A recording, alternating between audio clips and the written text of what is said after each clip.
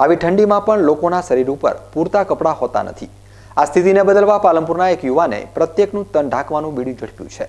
પાલનપુરના નિસ્વાર્થ સેવા સંગઠનના પ્રમુખ નીતિનભાઈ ઠાકોરે એક નવીન વિચાર રૂપે પાલનપુર શહેરની પ્રત્યેક સોસાયટીમાં બોર્ડ લગાવી જૂના પરંતુ સારી ગુણવત્તાના કપડાં ધોઈને સોસાયટીમાં મૂકી જવા શહેરીજનોને અનુરોધ કર્યો છે.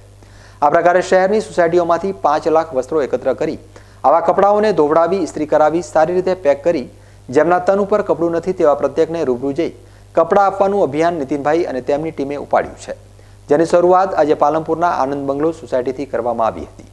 લોકો પોતે ના પહેરતા હોય તેવા સારી ગુણવત્તાના કપડાં ધોઈને સોસાયટીના ચોકમાં મૂકે છે અને આ બધા કપડાને આ રીતે શહેરની દરેક સોસાયટીમાંથી એકત્ર કરી તેમને ઇસ્ત્રીબંધ થેલીમાં પેક કરી જરૂરિયાતબંધ ગરીબ સુધી પહોંચાડવામાં આવશે.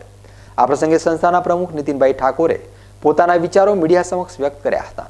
આ પ્રસંગે જાણીતા તબીબ ડોક્ટર સુરેન્દ્રભાઈ ગુપ્તા, ગિરીશભાઈ જગાણિયા, સાગર જાની, પાલિકા સદસ્ય હસમુખભાઈ પડિયાર, જાગૃતિબેન મહેતા, નિસ્વાર્થ સેવા સંગઠનના પ્રમુખ નીતિનભાઈ ઠાકોર, ઠાકુરદાસ ખત્રી, મન અગ્રવાલ, કમલેશભાઈ ત્રિવેદી, કમલેશભાઈ પરમાર, સચિન ગુપ્તા સહિત સોસાયટીના રહીશો પણ ઉપસ્થિત રહ્યા હતા.